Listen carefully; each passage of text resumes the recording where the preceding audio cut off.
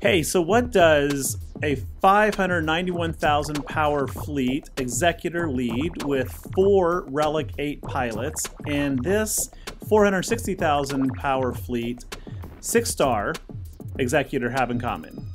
And the answer is that I've beat them both three times and lost twice.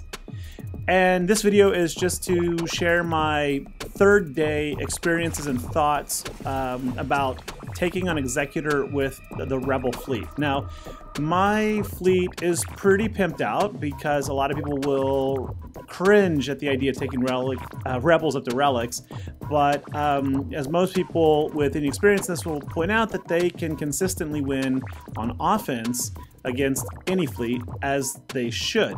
Uh, if you go back and watch um, Return of the, or sorry, A New Hope, you'll actually observe that the rebels don't just defeat or blow up the Death Star, they actually defeat and cause the Executrix to crash into the Death Star before they blow up the Death Star.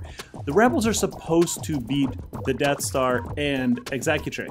So if if uh, Executor, so if Capital Games does come in and nerf fleets or buff Executor or put in another Rebel or Bounty Hunter ship that makes it a virtually unbeatable ship, I will contemplate leaving the game. I know that sounds kind of harsh, but that's just a major slap in the face to canon.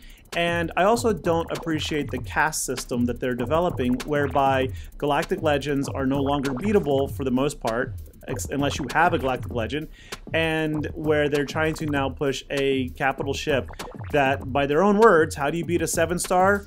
Executor? Well, you get your own seven star Executor. Who the hell likes mirror matches like that, right? That's a caste system, and it doesn't work in any society, and it just ruins a game, and it actually breaks the very definition of what a game is. But hey, I digress. So let's talk about Executor.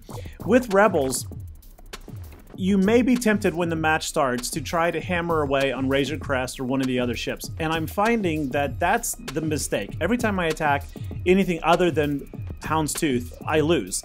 So I think it's best when you open up to just initially, um, you know, imply your target lock with Bistan. That's going to trigger turn, turn meter and taunt on Biggs.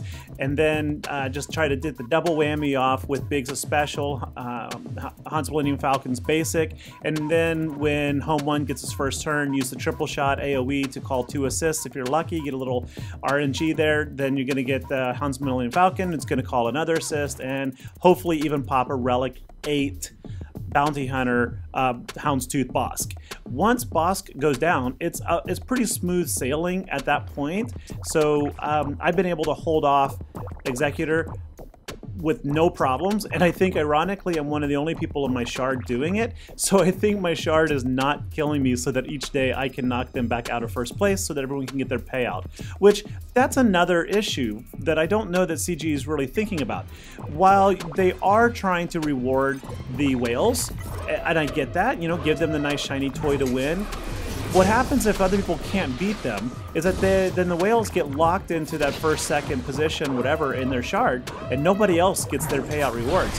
So while they might be rewarding 3 4% of their player base, they are in essence crippling the other 96 97%.